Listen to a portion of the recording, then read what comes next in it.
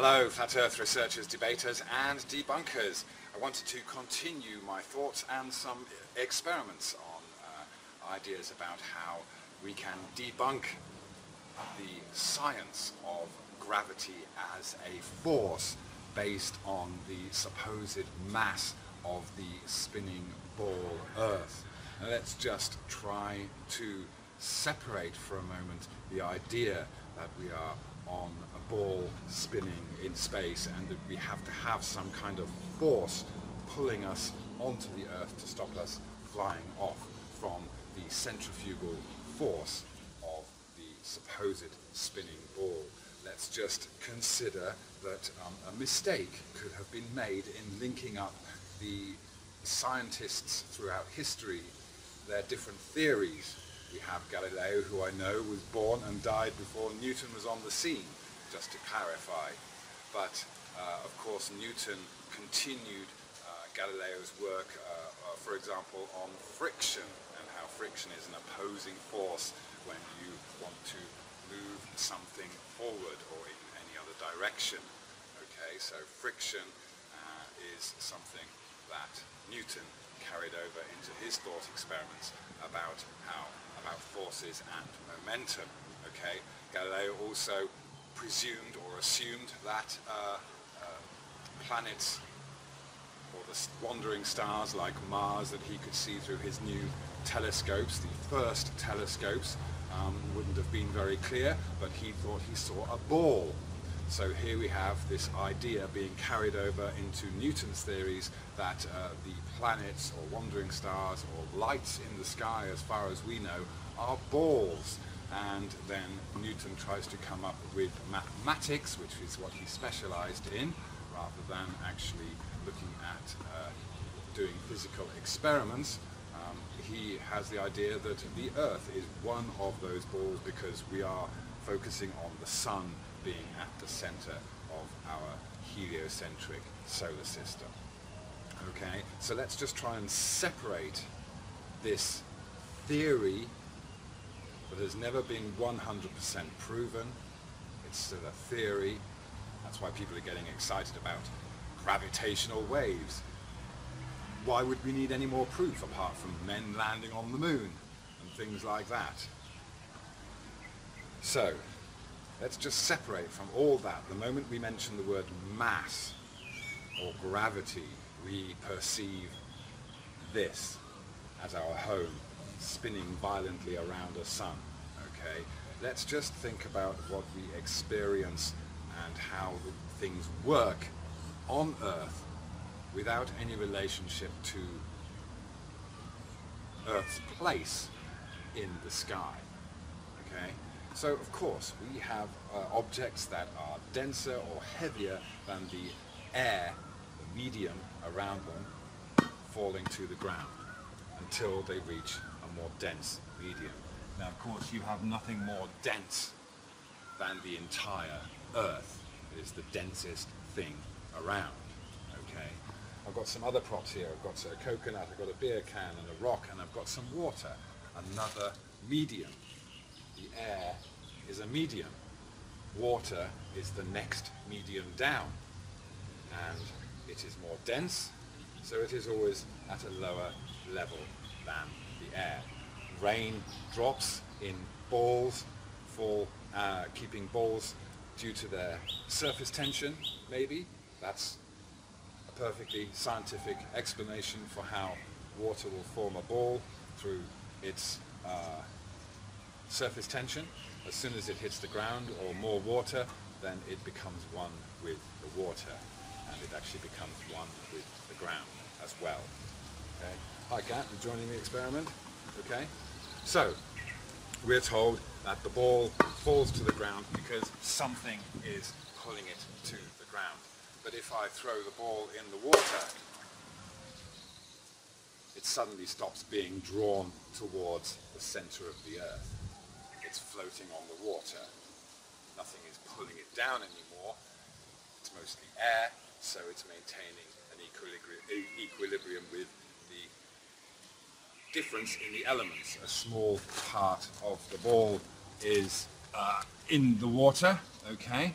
So we have water made up of hydrogen and oxygen, and this is meeting an equilibrium between them. If I want to push it down, I do have to use some force.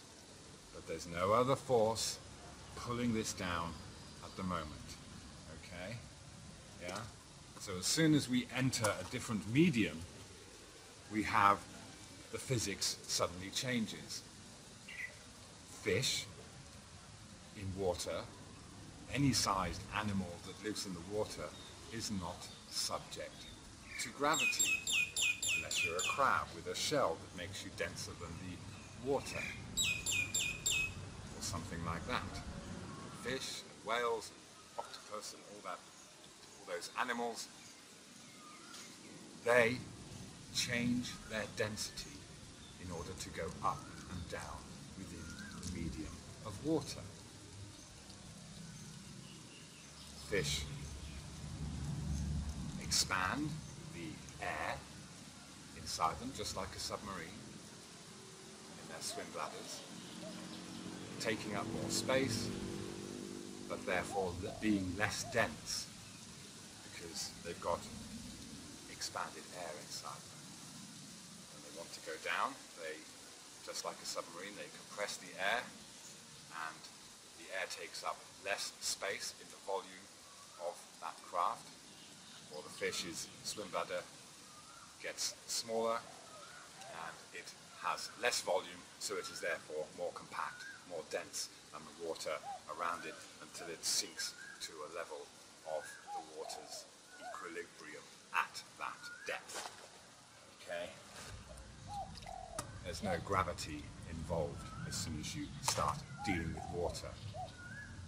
Things, the physics of water just changes completely. So we're always taught, being taught about things being pulled down to the ground through the air. The air is the medium.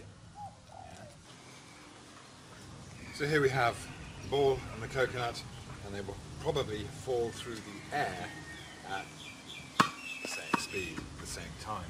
No contest there, alright? Is it a force based on the mass and specific size and diameter of the ball Earth that makes things fall this fast?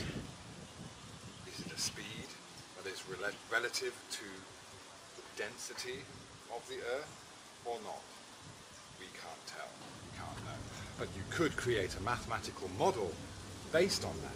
You could start with the speed with which you see things fall and then create a whole formula from that with assumed distances and sizes of our planet and other planets if you wanted to.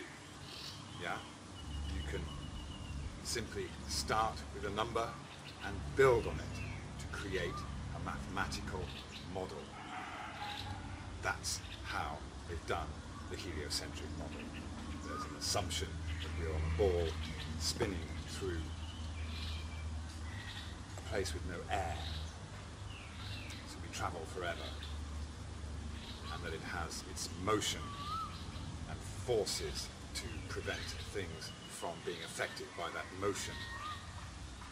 All imaginary stuff, not based on what we see and experience here on Earth. So, it falls at a certain rate, it's not because we're on a spinning ball necessarily. Got some leaves, and of course you know what's going to happen is that the the air is an element not dissimilar to water, but less dense than water, but it is still soupy compared to lighter airs. like helium, which again will rise, not due to any force pushing or pulling it. In fact, whenever we think about force, the force needed to push something along or a force required to stop that thing being pushed along is for left, right, sideways, forwards, backwards, whatever you want to do. But when it comes to lifting or levitating objects into the air, physics changes or when we are talking about rising or lowering objects in the medium of water, the physics changes. We have to either manipulate the object itself or we have to manipulate the element surrounding the object.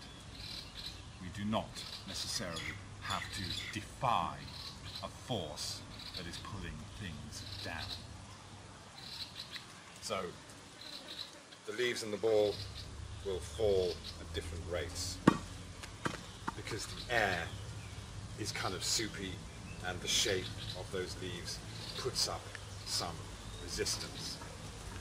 But then if we take these two cans, one that we know will simply float on the water because it is a certain volume and it has a certain density. Here's a crushed can. Has the same mass. But it, when I take the air out, is going to sink and this one's going to float. Alright? It's taking up a different amount of space. Its density relative to its volume has changed from this to this.